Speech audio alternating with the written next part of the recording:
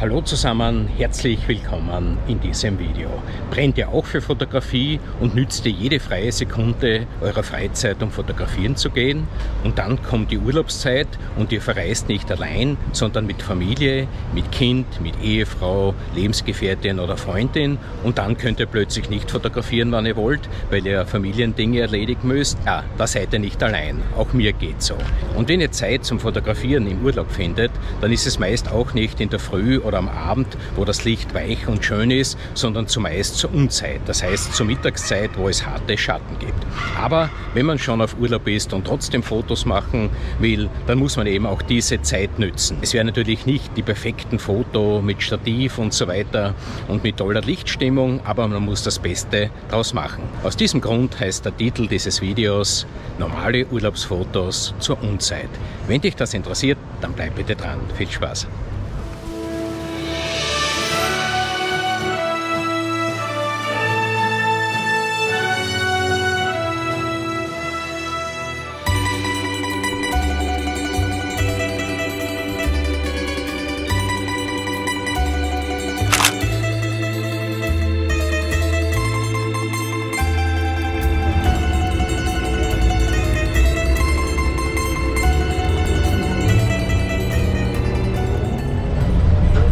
Zusammen, jetzt bin ich in Venedig angekommen und werde mal schauen, welche Motive es hier gibt. Leider wie eingangs schon gesagt, am helllichten Tag, also zur Unzeit, aber das hält mich nicht ab, um hier doch einige Fotos zu machen.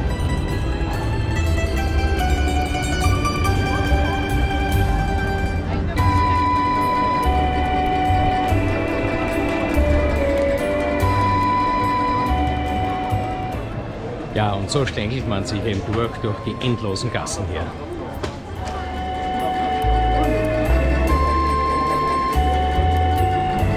Mit mir habe ich heute eine ganz eine leichte Ausrüstung, nämlich die Sony A6001. Das ist die Kamera, mit der ich eigentlich filme. Und dabei habe ich noch einen Polfilter, den kann man immer brauchen, um etwa das Wasser zu entspiegeln oder etwa um die Farben etwas zu sättigen.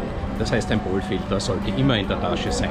Warum ich keine Ausrüstung mitgenommen habe, keine umfangreiche, ist ganz einfach. Wer will schon hier in Venedig bei Tausenden von Leuten zur Mittagszeit ein Stativ aufstellen, wo er sowieso keine Chance hat, um zu anständigen Fotos zu kommen.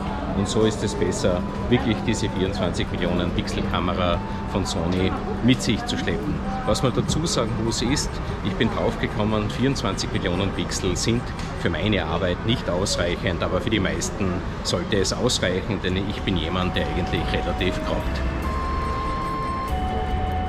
Jetzt befinde ich mich hier direkt beim Hardrock Café in Venedig und ich weiß, neben gibt es die Gondoliere und die Gondeln, die ein Motiv bieten können. Es gibt tausende von Leuten, das ist das große Problem, aber jetzt sehen wir uns das Ganze an.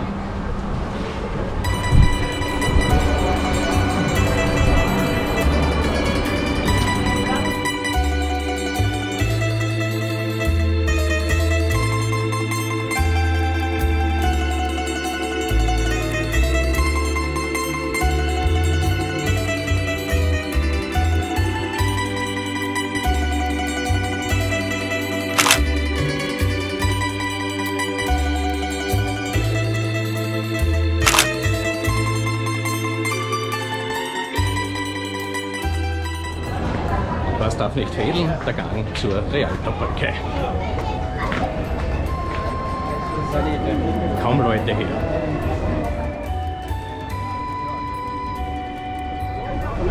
Jetzt hier ein paar Aufnahmen raus zur Rialto-Brücke.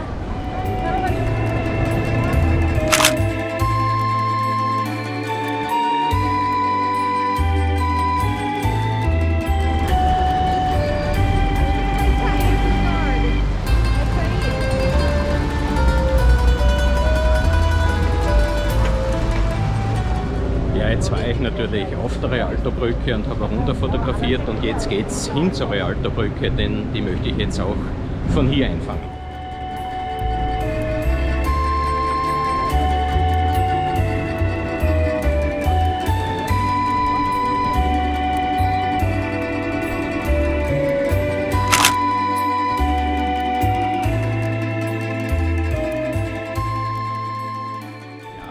Ist wirklich wunderschön, es als Tourist anzusehen. Noch schöner wäre natürlich hier eine Fototour zu machen, aber nicht zur Unzeit, sondern am Abend oder in der Früh. Man müsste hier einige Tage in Venedig bleiben, damit man sieht, wo man die besten Fotos machen kann und vorab etwa ein Location Scouting betreiben, um etwa die Lichtstimmung abzuchecken.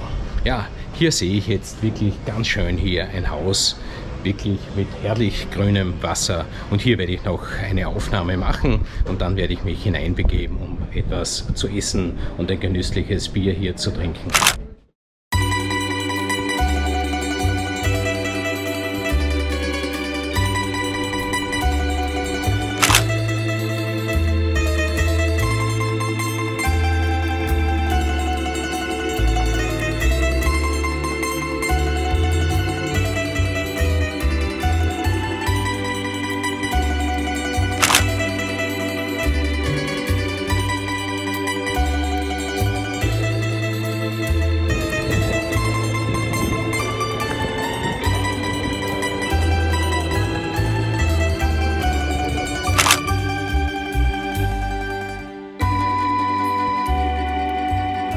Damit ihr einen Eindruck habt, dass ihr seht, was so viele Touristen ausmachen und wie viele Leute Fotos kaputt machen können. Aber da ist man selber schuld, wenn man praktisch zur Haupturlaubszeit, wo Millionen Touristen und Hunderttausende in der Woche Venedig besuchen, wenn man hier einen Ausflug macht. Also das muss man einfach hier klar sagen.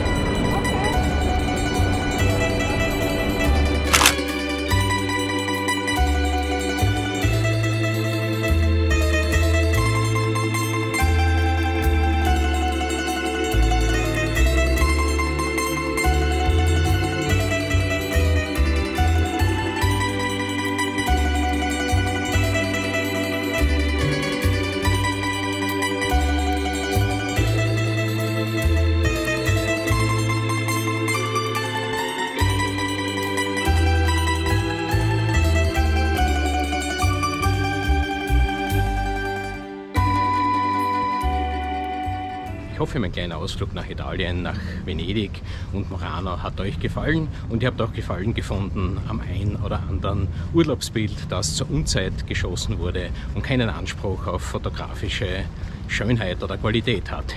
Ich wünsche euch wie jede Woche gut Licht, passt gut auf euch auf, ciao Papa, auf Wiedersehen, bis zum nächsten Mal. Arrivederci aus Italien. Ciao.